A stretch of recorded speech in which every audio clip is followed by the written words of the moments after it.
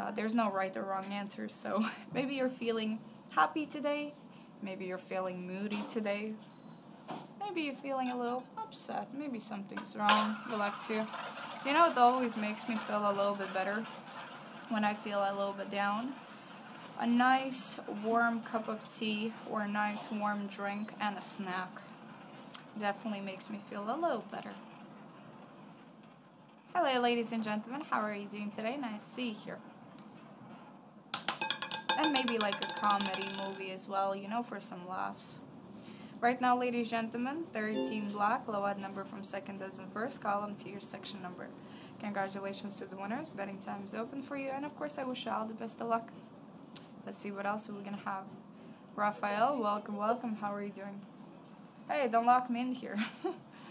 Final seconds. And no more bets. Good luck, everybody. Let's see what else we're going to have.